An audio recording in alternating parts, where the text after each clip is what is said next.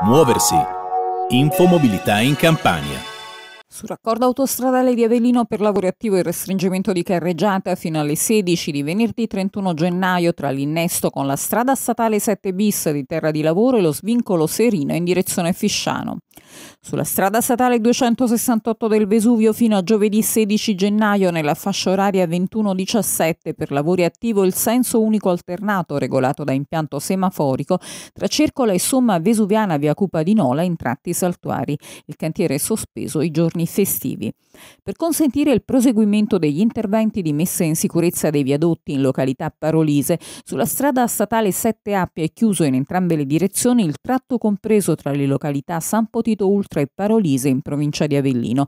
Il termine dei lavori è previsto per mercoledì 22 gennaio. Sulla tangenziale di Napoli chiusa l'uscita via Cilea dello svincolo Vomero dalle 22 di martedì 7 alle 6 di mercoledì 8 gennaio. In alternativa si consiglia di proseguire in direzione di via Caldieri. Acamir muoversi in Campania, Rossella Altamura.